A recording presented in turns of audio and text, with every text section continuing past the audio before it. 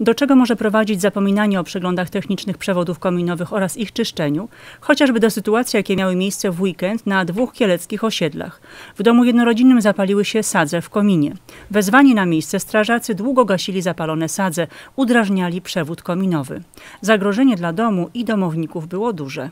Przede wszystkim gro, grozi to pęknięciem przewodu kominowego w wyniku wysokiej temperatury, bo, bo się palą sadze, y, dostaniem się płomieni i tlenku węgla, produktów, produktów spalania do pomieszczeń, y, tam gdzie mieszkamy, czyli do pokojów i innych pomieszczeń.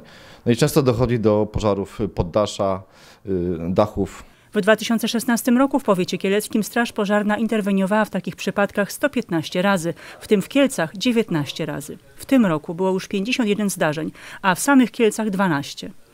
W miniony weekend strażacy przyjechali na czas i uratowali sytuację, ale często niefrasobliwość właścicieli czy zarządców nieruchomości prowadzi do nieszczęścia. Przewody kominowe należy czyścić cztery razy w roku w domach opalanych węglem, drewnem lub innym paliwem stałym. Dwa razy w roku powinny być czyszczone przewody w domach opalanych gazem, olejem lub innym paliwem ciekłym. Zmniejsza to stopień zagrożenia pożarowego, ma też wpływ na ochronę środowiska. Bezpieczeństwo zwiększa także opalanie pieca lepszym paliwem.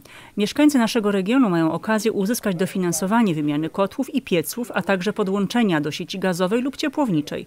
Wojewódzki Fundusz Ochrony Środowiska i Gospodarki Wodnej w Kielcach uruchomił program pod nazwą Zorza Czyste Powietrze nad Świętokrzyskiem. To odpowiedź na rosnące zanieczyszczenie powietrza na terenie województwa, którego przyczyną w głównej mierze jest emisja gazów i pyłów z prywatnych gospodarstw domowych. Wszyscy mieszkańcy województwa świętokrzyskiego, którzy chcą wymienić swoje piece na nowe, lepsze, na przykład na paliwo gazowe, również można wymienić piece na paliwa, na piece na paliwa stałe, z tym, że muszą być to piece spełniające co najmniej y, warunki co najmniej czwartej lub piątej klasy. Po prostu muszą mieć odpowiednią jakość spalin.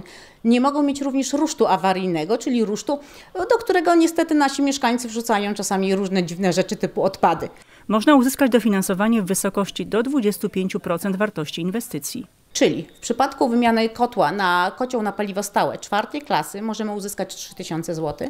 Natomiast w pozostałych przypadkach, czyli w przypadku wymiany kotła na kocioł na paliwo stałe piątej klasy oraz lub wymiany kotła na paliwo gazowe możemy uzyskać 25%, l- ale nie więcej niż 4000 zł.